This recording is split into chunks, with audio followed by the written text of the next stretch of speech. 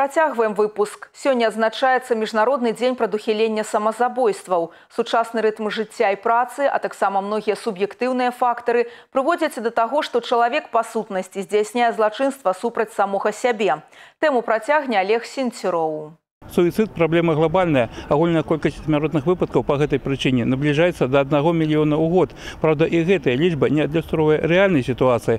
У спецыялістаў Сусветнай арганізацыі аховы здароўя практычна адсутнічаюць дадзеныя па Афрыцы. Сумнае першынство належыць краінам усходняй Еўропы, найменшыя паказчыкі ў лацінскай Амерыцы і ісламскіх дзяржавах. Увогуле за апошні час у свеце створана цэлая сістэма прадухілення самазабойстваў. Непасрэдна ў Беларусі гэтай праблемай займаюцца прадстаўнікі самых розных прафесій ад школьных псіхологаў псіхолагаў да супрацоўнікаў міліцыі апрача таго ва ўсіх гарадах ёсць так званыя тэлефоны даверу па якіх можна расказаць аб сваіх праблемах у гомеле лінія створана ў псіхіятрычнай бальніцы працуе кругласутачна толькі летась па нумары 31 51 61 прынята 6700 званкоў гэта шмат але медыкі перакананы калі чалавек вырашыў паведаміць аб сваёй праблеме і гэта ўжо добра значыць ён спадзяецца на дапамогу дарэчы яна ў такіх выпадках ананімная если он уже в любом случае звонит на телефон доверия то это сигнал о том что спасите то есть помогите то есть даже если он говорит что я вот Э, сделаю это, то есть если он звонит,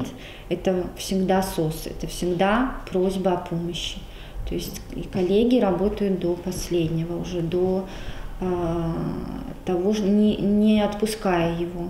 То есть до того момента, как не приедет помощь. Основная причина, якая прымушае людзей здзейсніць суіцид, дэпрэсія, у некага праблемы ва ўзаемаадносінах з роднымі. Нехта трапіў у цяжкае матэрыяльнае становішча ці атрымаў інваліднасць. Спецыялісты кажуць, што звычайна да фатальнага кроку людзей падштурхоўвае адразу некалькі падстаў. Калі выдзеліць найбольш небяспечныя перыяды, то гэта ўзроставыя катэгорыі да 20 гадоў і звыш 40. После 40 у людей случается изменение отношения к самому себе отношение к миру. И, конечно же, некоторые люди могут быть недовольны тем, что происходит в их жизни.